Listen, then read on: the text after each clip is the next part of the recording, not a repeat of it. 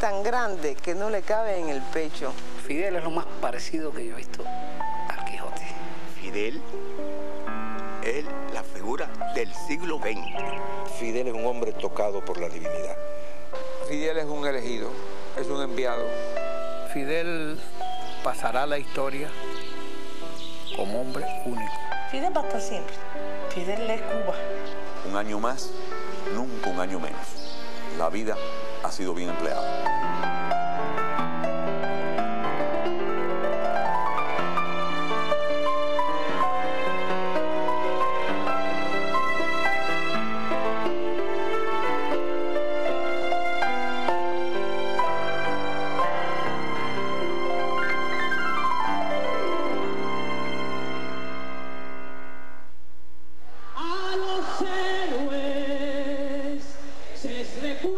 y se les recuerda en los brazos, se les recuerda en la tierra y eso me hace pensar que no han muerto al final.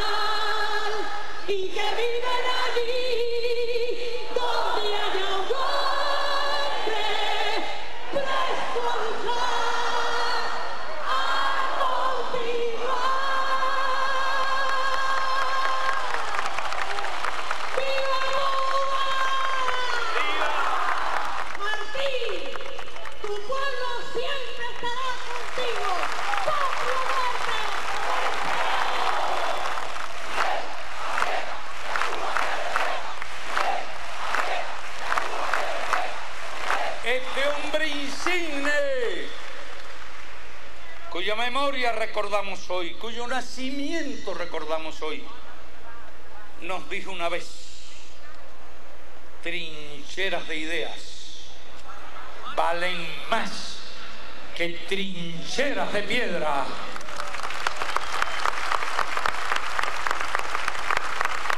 Y hoy somos una gigantesca trinchera de ideas, trinchera revolucionaria trinchera moral. De eso mismo que ustedes acaban de decir.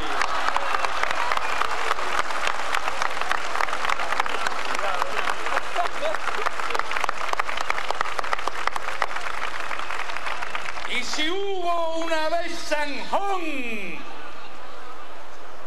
y quienes desertaron en momentos muy difíciles, digo, que en nuestro pueblo no habrá jamás Sanjón.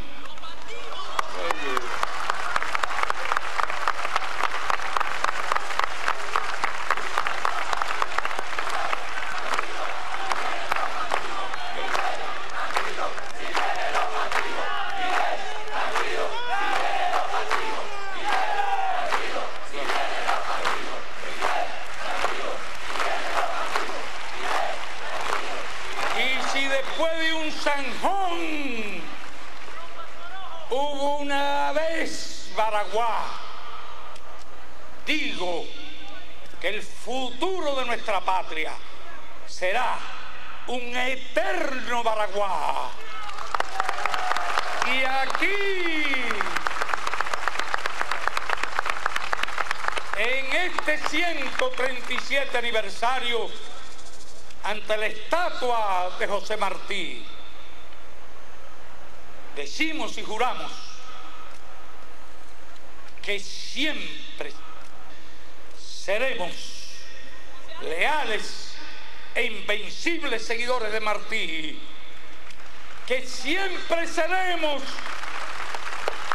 leales e invencibles seguidores de Mateo, y como él decimos hoy, con él decimos hoy, que quien intente apoderarse de Cuba recogerá el polvo de su suelo, pagado en sangre si no perece la contienda. Patria o muerte, José Martí.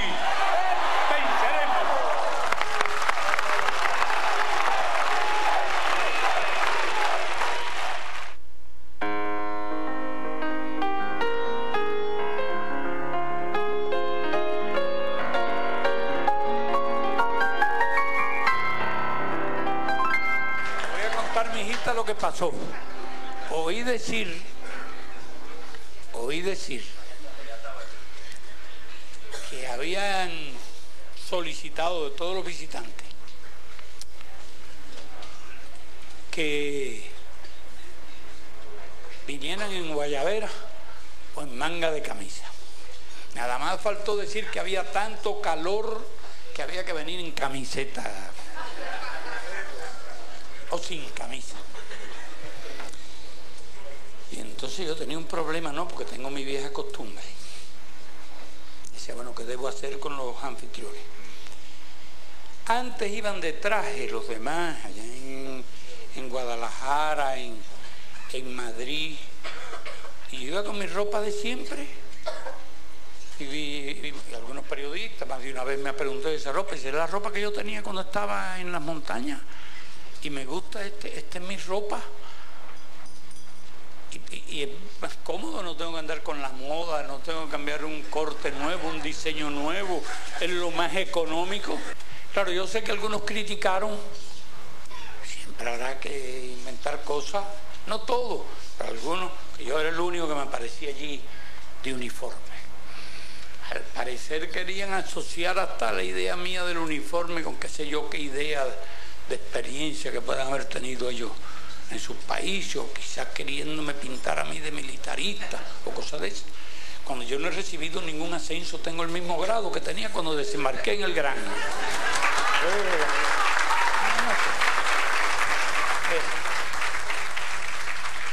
Esta vez la situación iba a ser peor, lo demás de camisa y yo con uniforme. Pero ¿cuál de los dos me ponía? Ese que llamo de gala, con saco. Yo voy a quedar mal allí delante de todo. Me, me pongo el otro, el del diario. Bueno, pues de todas maneras van a estar sacando los, los uniformes. Y bueno, creo que desde que era estudiante yo no me ponía una guayabera. No sé de cuándo. hace- hace- no mucho, pero hace algún tiempo. Entonces, entonces yo dije, a ver, al fin y al cabo quería demostrar que no tenía miedo ponerme una guayabera. Por ahí, por ahí hay quien decía que yo ando con un chaleco antibala. La antibala, el chaleco antibala que tengo es la moral. Y bueno, por eso te digo, y me puse la guayabera. Y lo bonito de la guayabera es que me la elogió todo el mundo. Yo mismo no sabía, yo mismo no sabía cómo iba a quedar esta guayabera, porque yo digo, ¿cómo quedará esta barba con una guayabera blanca? Pero bueno, me decidí, me puse la guayabera y bueno, te, advierto que me ha gustado. Óyeme, además, pero yo, me queda todavía, si el avión lo tomo en guayabera y me cambian al avión, o llego yo en guayabera. Eh,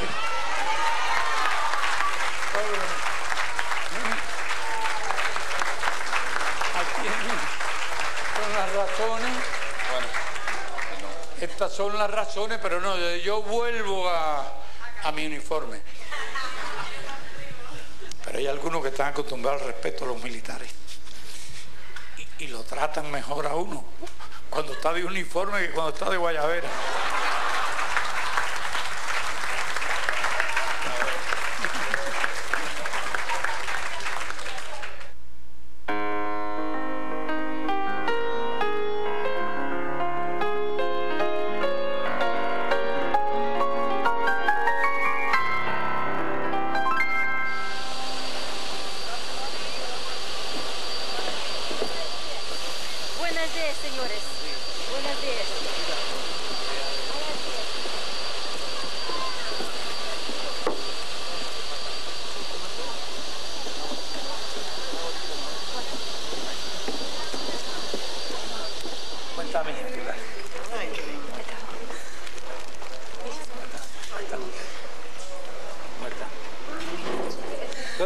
Soviética también o tú eres cubana? Ella le quiere, ella le quiere dar el, el, el oso. Darle las gracias y la niña Ah, muchas gracias. Ah, muchas gracias. Voy a ver si me sirve. Seguro que no me sirve. No debe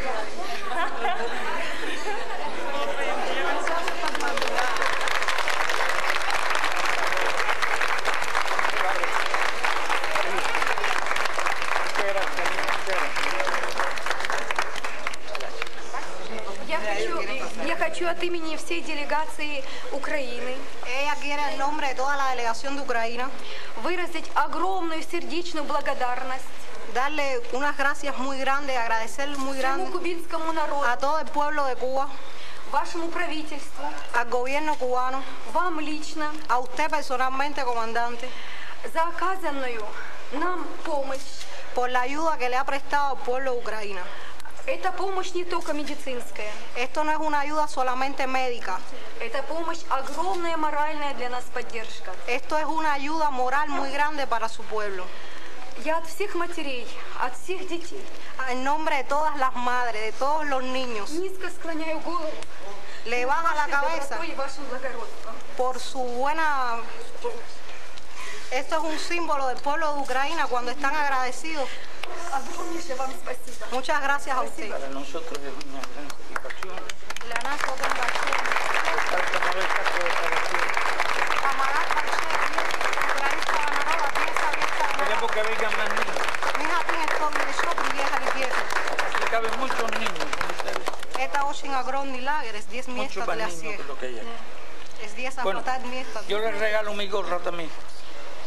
Los regalo mi. Esa no,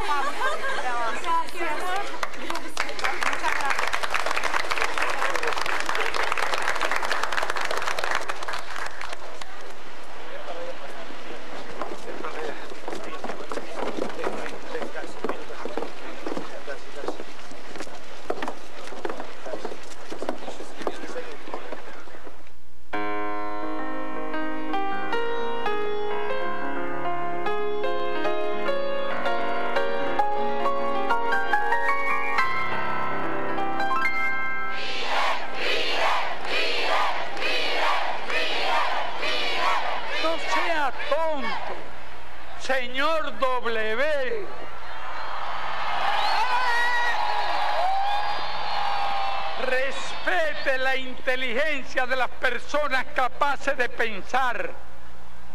Lea algunas de las cien mil cartas que nuestros pioneros le enviaron.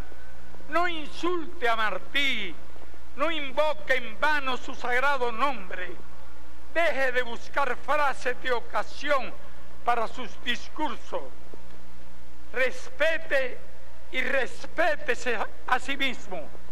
El bloqueo criminal que nos promete endurecer multiplica el honor y la gloria de nuestro pueblo, contra el cual se estrellarán sus planes genocidas. Se lo aseguro compatriotas, frente a peligros y amenazas, viva hoy más que nunca la revolución socialista, patria muerte, venceremos.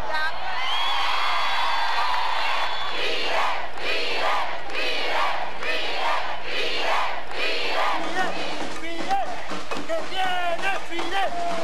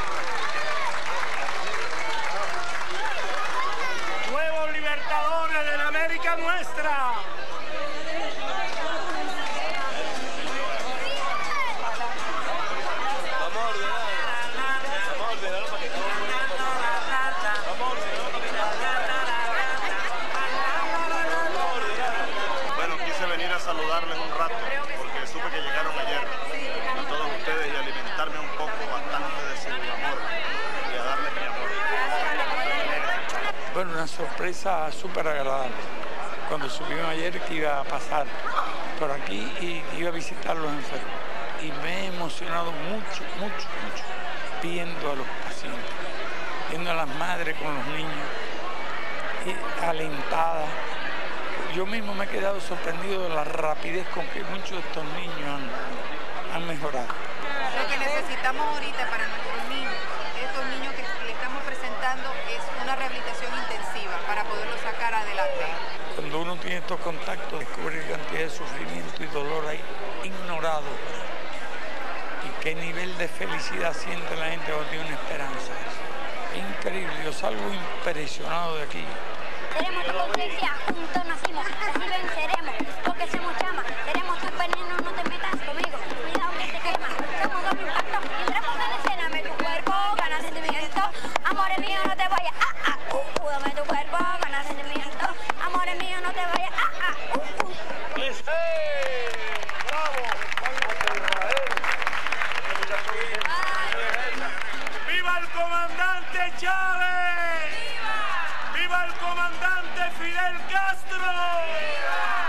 El oro del mundo, todo el dinero del mundo, no vale más que el placer de ayudar a los demás.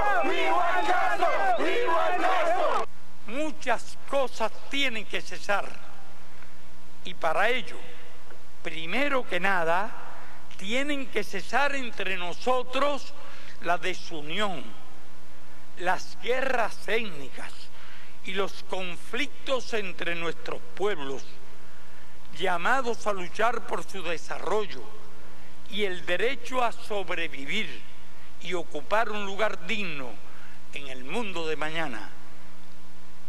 Y algún día no nos separarán orígenes étnicos ni chauvinismos nacionales, ni fronteras, ni ríos ni mares, ni océanos ni distancias. Seremos, por encima de todo, seres humanos llamados a vivir inevitablemente en un mundo globalizado, pero verdaderamente justo, solidario y pacífico. Ese día hay que ganarlo luchando.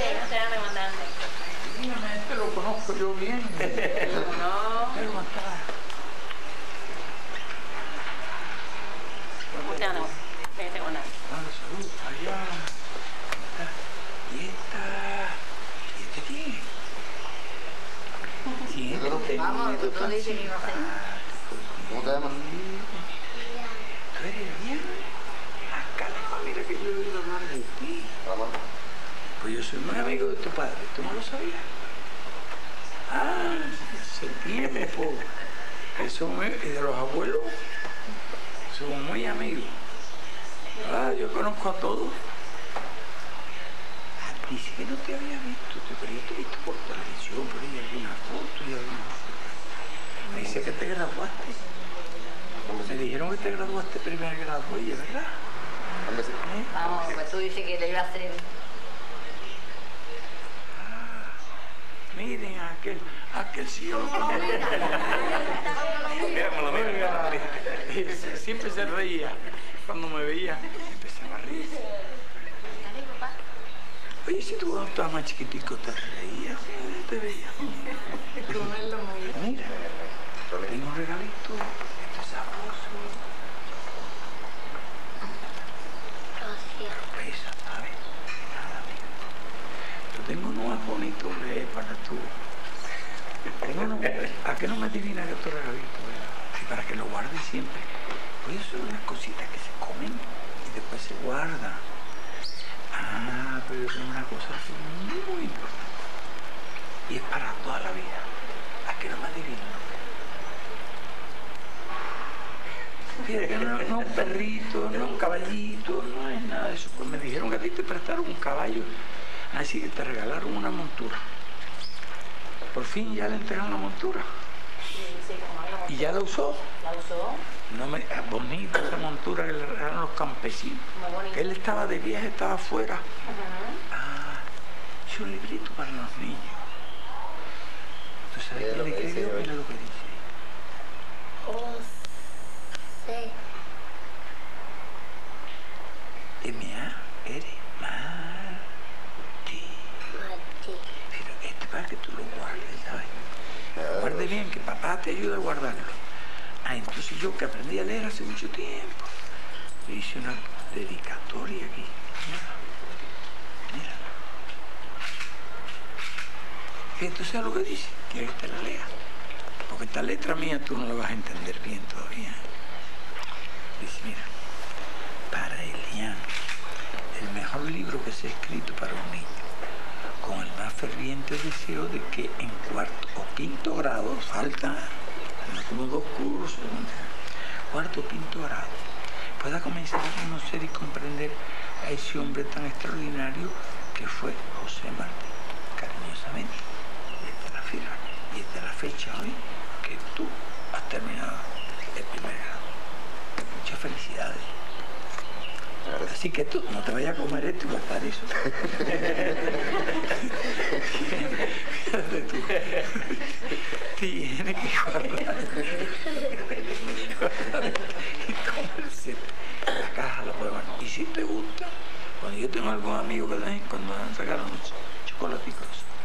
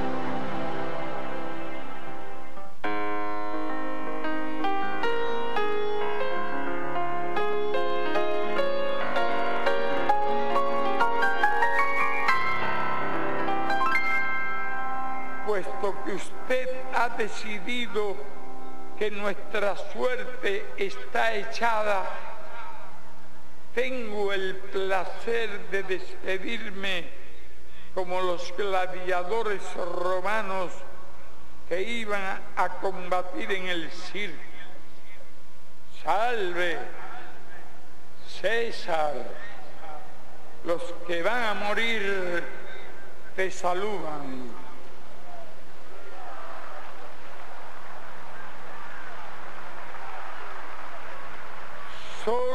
Solo lamento que no podría siquiera verle la cara,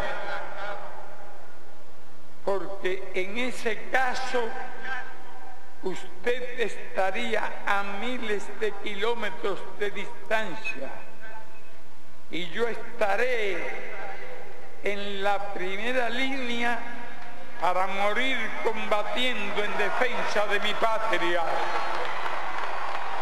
En nombre del pueblo de Cuba, Castro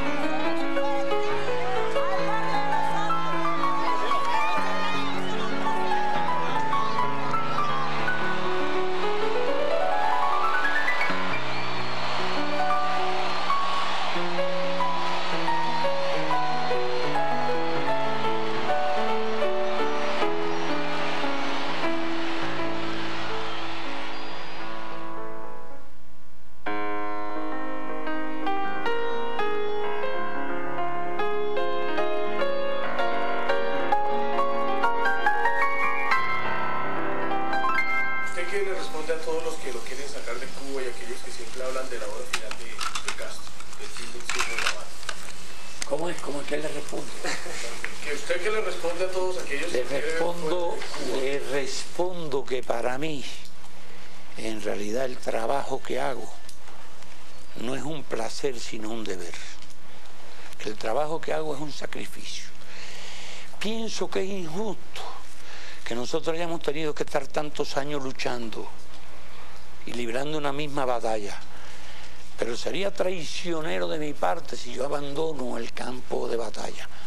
Eh, yo no recuerdo a ninguno de los libertadores de este hemisferio que haya abandonado el campo de batalla antes de conquistar la independencia de nuestro país. Zucker no abandonó el campo de batalla, murió y a pesar de que no le gustaba nada, lo hicieron presidente de Bolivia casi, a la fuerza. Bolívar no abandonó el campo de batalla. Los, que, los revolucionarios nunca abandonan el campo de batalla. Los revolucionarios no se jubilan.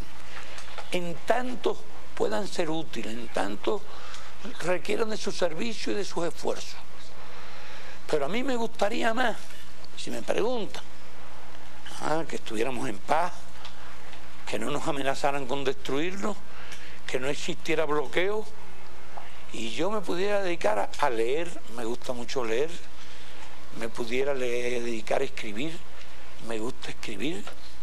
Te aseguro que he escogido el trabajo más duro que se puede escoger y que lo que hago es cumplir con el deber. Y si alguno me quisiera ver apartado de todo eso, pero apartado con honor y con dignidad, yo realmente estaría agradecido a todos esos que quieren apartarme. El otro día hubo unos disturbios por allí.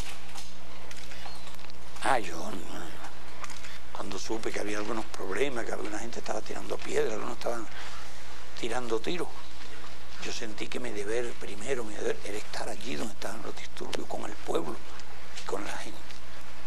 Bueno, no hubo una piedra más, ni un disparo más, y le dije a las escoltas nuestros que no se dispare ni un tiro, y se lo dije francamente, yo prefiero que me tiren a mí, a decirle a ustedes, disparen, porque yo siempre he creído que hay armas mucho más poderosas que las armas de fuego, y son las armas morales. Y desde luego yo estoy y estaré siempre dispuesto a luchar junto al pueblo y a morir con el pueblo. Y quien sepa cumplir así su deber no puede tener preocupación por la muerte.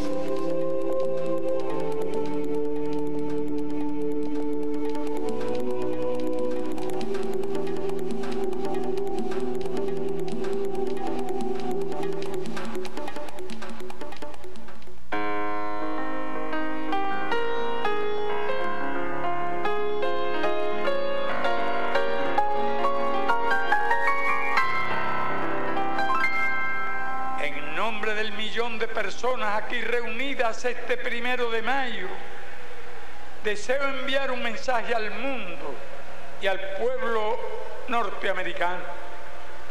No deseamos que la sangre de cubanos y norteamericanos sea derramada en una guerra. No deseamos que un incalculable número de vidas de personas que pueden ser amistosas se pierdan en una contienda. Pero jamás un pueblo tuvo cosas tan sagradas que defender, ni convicciones tan profundas por las cuales luchar, de tal modo que prefiere desaparecer de la faz de la tierra antes que renunciar a la obra noble y generosa por la cual muchas generaciones de cubanos han pagado el elevado costo de muchas vidas de sus mejores hijos.